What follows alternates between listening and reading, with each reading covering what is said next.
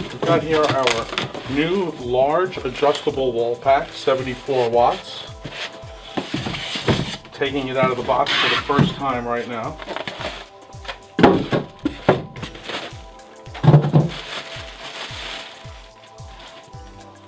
Nice.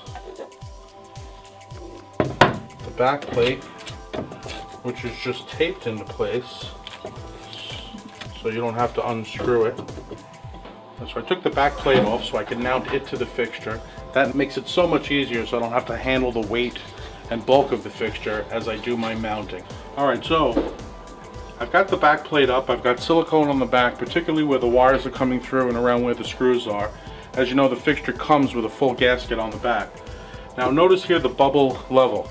This is so that no guesswork. I see I've got it perfectly level at this time. I'm going to send that first screw home to hold it in place. And now I'll finish mounting this back plate. Perfectly level and good to go. So I connected my ground, I did my neutral to neutral and my black to black with the supplied connectors. The connectors are all ready to go and pre-wired. You just have to add the utility power line. Now I just have to screw it in place and it's there to stay.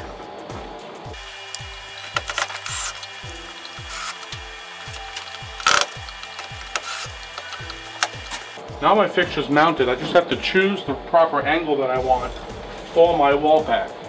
In this particular case, we want a little bit of forward throwing light, but we want it mostly down. So I'm gonna angle it here. I do have 120 degrees to choose from. So choose what's best for your application. So now I've got it angled using my 3 16 Allen wrench. It's in place, it's wired up, it's siliconed and waterproof. Let's see how it looks. Wow, looks great.